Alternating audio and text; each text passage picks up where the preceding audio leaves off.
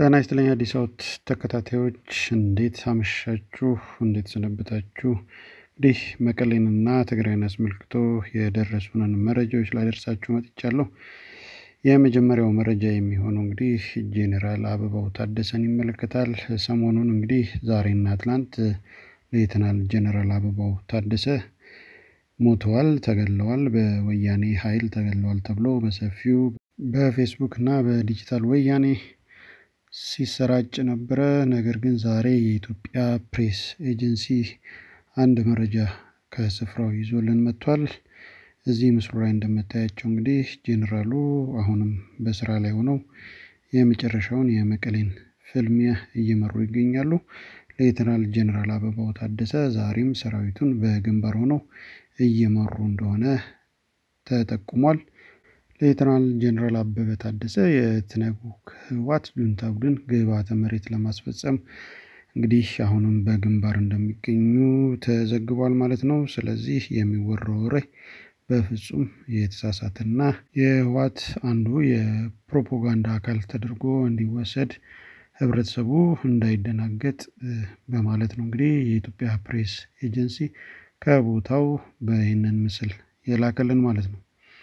ወደሚቀጥለው መረጃ ያስወስዳችሁ ኢቢሲ ይዞት የወጣው መረጃ ነው። እንግዲህ የህወሓት ታላላቅ መሪዎች የት እንደሚገኙ አምስት ቦታ እንደሚገኙ እንደታወቀና እነዚህም ቦታዎችም በስም ጠርቶ አስነብቦናል። እንደሚከተለው አዘጋጅቼላችኋለሁ።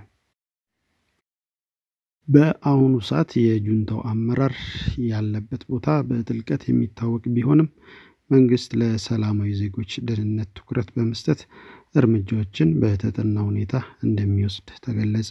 የጁንታው አመራር በአንድ ላይ እንደማይገኝና በከተማይቱ የተለያዩ ስፍራዎች ተሸሽጎ በወታደራዊ ሬዲዮ እንደሚገናኝ መረጃዎች ያመለክታሉ። የጁንታው ዋና የህቡዕ ቦታዎችና ዋሻዎች አንደኛ መሰቦ ሲሚንቶ ፋብሪካ ውስጥ ለውሃ ጉድጓድ በሚል በቻይናዎች የተቆፈረና በኮንክሪት የተሰራ ሁሉም ነገር የተሟላለት ቪላ ቤት፣ ሁለተኛ አጼ ዮሐንስ ሙዚየም ውስጥ የሚገኝ ground ቤት፣ ኩሃ አካባቢ የሚገኝ ኖብል ሆቴል ህንፃ ስር የሚገኝ ቤት፣ ሶስተኛ ሐውልቲ አካባቢ የሚገኘው የድምፀ ወያነ ስቱዲዮ ውስጥ ያለ የተሟላ አዳራሽ መሆናቸውን መረጃዎች ያሳያሉ። አራተኛ አዝቢ አካባቢ ባለ ጫካ ውስጥ ለመደበቅ ማታ ማታ መንገድ መጥረግ ስራ እየሰሩ መሆኑንና በአምስተኛ ደረጃ ደግሞ በአብርሃ ወጽብሃ ገዳም መሸሸጋቸውንም እንደዚሁ ተገልጿል። ይህ ቦታ በኮማንዶ የሚጠበቅ ሲሆን የመሳሪያ ክምችት አለበት ተብሎ የሚጠረጠር መሆኑን ተጠቁሟል። ሆኖም የጁንታው አጠቃላይ ሁኔታ በዚህ ደረጃ ቢታወቅም መንግስት ለሰላማዊ ዜጎች ሲል የተጠና እርምጃ እንደሚወስድ ነው የተገለጸው። የመጨረሻውን የዘመቻ ምዕራፍ መጀመሩን ተከትሎ የህወሓት ጁንታ አባላት በአፋር በኩል በበረሃሌ ወረዳ ለማምለጥ ሙከራ እያደረጉ መሆኑን ከመቀሌ የወጡ ዜጎች ገለጹ።